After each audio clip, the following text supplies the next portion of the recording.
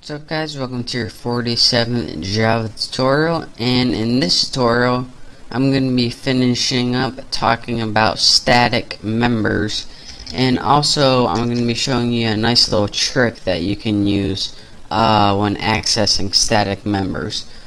So go ahead and in your tune class or not the class with not your main method in it class without your main method and there we go.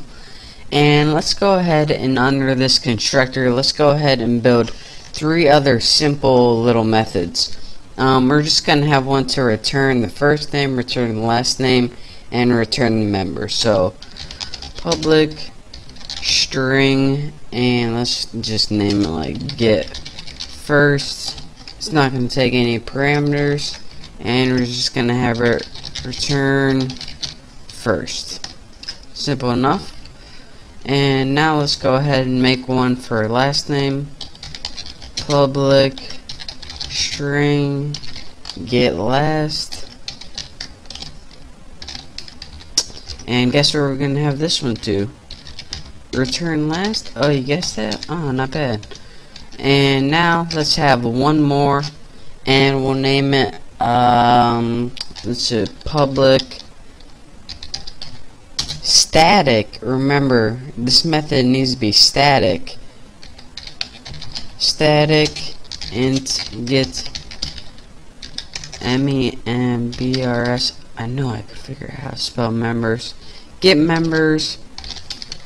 And then what are we gonna have this one do? Let's just have return members.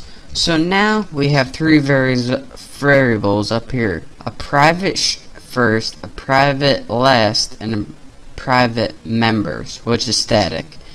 This method returns first name, this method returns last name, and this method right here, or it's going to return um, the variable members. So now that we have three objects made, go back in your main apples class, or whatever you call it, let's go ahead and let me show you how each member has its own set of data. So let's just go ahead and for um, housekeeping sake put system out print line and let's just go ahead and print an empty line right there there because it'll just be easier now let's just go ahead and copy that because we're going to be using it Oh, I didn't know we could do that, did we? And let's just go ahead and put what do we want to print on our first line? And it's really our first line because this one's just an empty line. Well, what I want to show you that is even though they all share that variable called members, they each have their own set of data. So let's go ahead and put member 1, which is our object 1, which was Megan Fox, and we'll put get uh, first, and then let's do this with last, copy, get last, and what's the last one called? Get members.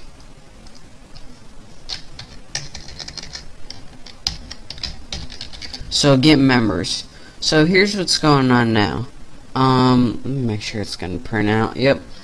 So anytime you call this one, it's going to have Megan Fox, and this is unique to its own object.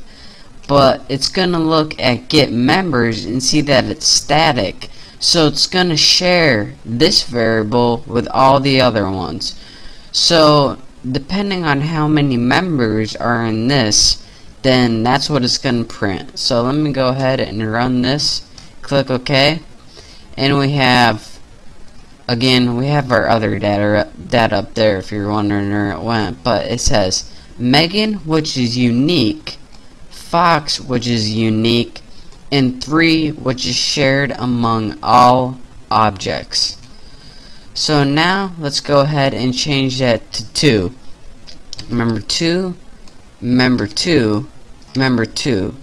Now let's go ahead and run this and now you can clearly see. Natalie, which is unique Portman, which is unique, and 3 again, that 3. And that 3 is because this private static int. Static means, alright, this variable is shared between all objects. So we don't need to, you know, why would you make a separate variable if it, like, let me think how to put this. Why would you make a separate variable that is going to be unique that we're going to have to update in every object if it's the same value no matter what object it is? So, I mean, you don't need to. So we're not gonna. So that's where static comes in handy. And now let me show you that trick I was talking about. Um, since the variables, static variables don't change between objects, static information is is available even when you don't have an object. So, for example, say forget about all these objects right here. And we actually can't just delete them, but we'll delete these right here and we can just add it in this print line really. Instead of calling a separate object like an object and then your dot separator and then your method like that what you can do with static is just put the name of the class and put your dot separator and then put your method. Get members like that. Now let me run this and you can see the three right here. Can you guys see that? The three right there. So before, we were never able to do this. We had to get an object and build an object anytime we wanted access to any of these members or any of these methods right here. But with a static, it's a little bit different because it's not going to change from object to object since no matter how many objects you have the variable is the same. So that's why Java lets you instead of having to have an object which you can do by the way what we just did you can also just put the class name and put the static method ahead of that. So again anytime you have a static method that use static variables um, you don't have to have a separate object. You can just put the class name and then you can just put the method.